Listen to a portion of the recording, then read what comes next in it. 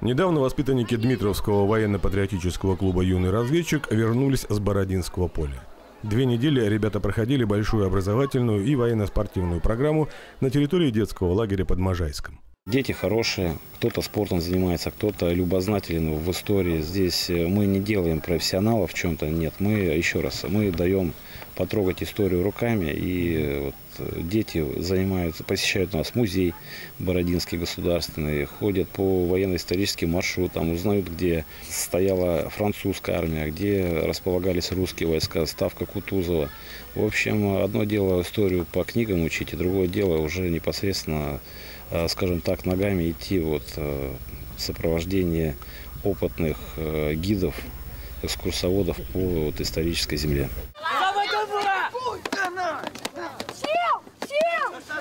За время нахождения в военно-историческом лагере наши ребята отточили навыки спецподготовки, высотной и огневой подготовки, проходили полосы препятствий, отрабатывали навыки тактической медицины и выживания – а также участники соревнований углубленно изучили историю двух отечественных войн 1812 и 41-45 годов 20 века. Четыре интерактивные исторические площадки РКК, немецкая армия, французская армия и Древняя Русь предоставили ребятам возможность познакомиться с бытом и вооружением армий тех исторических эпох. Впервые в таком лагере или уже был? Впервые. Как впечатление? А, хорошее. Что нравится, что запоминается? э, заня... ну, что мы делаем, стреляем. Расскажи, вот, что ты делал эти дни? Э, стреляла, разбирали автоматы. Э, дискотека вчера была. Э, все. Ну, а как кормят? Нормально. Чем? Э, суп, ну, на обед суп, второе, на завтрак э, каша, э, на полдник сладкое что-то, а на ужин по-разному. А сейчас вот в этом году как-то программа изменилась, сложнее стало? Да, программа стала намного насыщеннее, добавилось очень много интересных элементов. Опять же, сказывается на то, что лагерь растет, растет и по своим масштабам, привлекает 43 региона, если я не ошибаюсь, в этом году присутствует здесь, это полторы тысячи детей. И, соответственно, программы усложнены. В этом году присутствуют точки, э, три точки реконструкционные, это будет 41 года, э, войны 812 года и современных локальных конфликтов. Дети будут проходить исторические квесты, изучать историю боевых действий, ну и специальная подготовка, которая будет проходить. Это альпинистская подготовка, огневая подготовка, э, вместе с ним разведывательная подготовка и навыки выживания. Ну и также пинбол, страйкбол их ждет. Здесь у вас занятие тактика, специальная подготовка, штурм, зачистка здания от преступников, бандитов, террористов. За время лагеря ребятам удалось пообщаться с тремя героями России – Вячеславом Воробьевым, Игорем Задорожным и Сергеем Юшковым.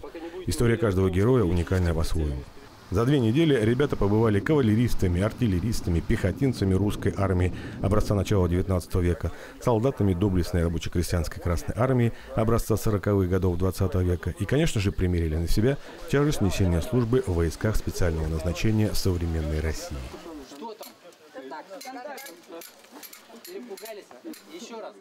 Мне нравятся бои. И еще мне сегодня понравилось, как мы ходили в музей и э, квест проходили. Как вы считаете, какой выхлоп от этих мероприятий? Что получат ребята? Ну, во-первых, это общение среди своих сверстников и ребят с других там регионов и районов.